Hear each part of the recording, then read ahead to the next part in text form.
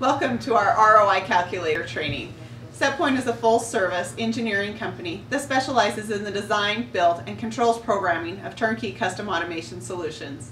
Our video goes through our return on investment calculator and helps explain how you can determine the benefits of an automation project. We've got Joe, our finance guy, and Clark, the sales guy, who are going to walk through the calculator and show you the benefits of your project.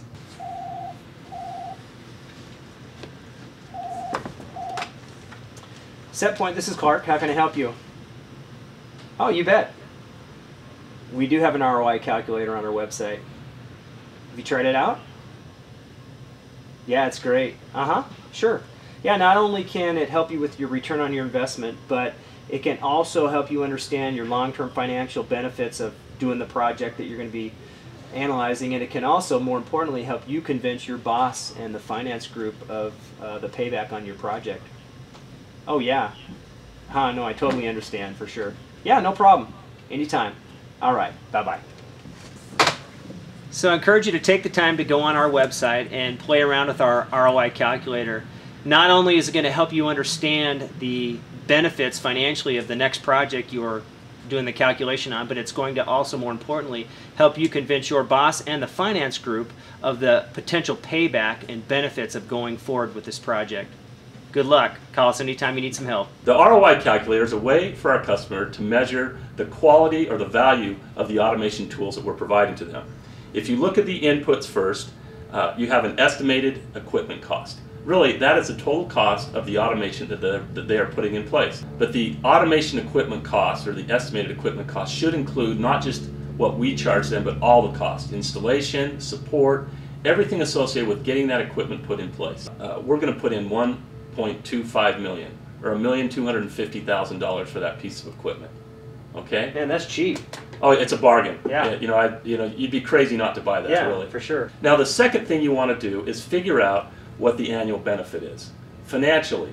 So how much are you going to save when this equipment is up and running? So let's assume the annual benefit on this particular piece of equipment is $767,000. The next thing we want to measure is how many years are we going to be able to use this equipment and get that benefit? Pretty simple number. Five years is what we're going to use for our example. How long are we going to be able to use the equipment on the product that we're producing with our automation? Okay, got it. Okay, now the last line on there is uh, that we need to put in is our annual minimum interest rate.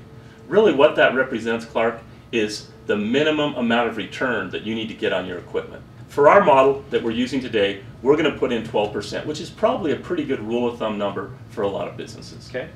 Now once we've got those numbers in, we hit return and we process and we can get a report. And the report will give us three different results. We'll get a net present value, a payback in years, and an internal rate of return.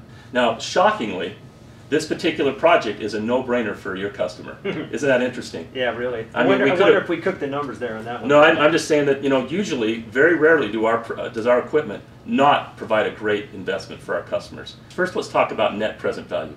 This is the one that can be very confusing to some people, but it's really quite straightforward. Now, our results here is 1.5 million, and what that is saying is, if I take the initial investment that we put down, the 1.25 million, and I put it in this investment and get the returns that we've estimated of 767,000. If I put in the annual benefit of 776,000 for 5 years, what that is saying is that I will generate in today's dollars 1.5 million dollars more than I would have made over those 5 years if I had just left it in a 12% investment. Now the second measure we have here is payback in years.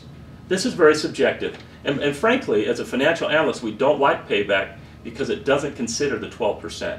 It just tells you how long does it take to get your money back. Well, in this case, it's a five-year investment, and we get our money back in 1.63 years. Man, so everything after that's gravy. Exactly. Now, finally, the last number is the internal rate of return. And simply put, this is a calculation of the percentage return that this investment yields.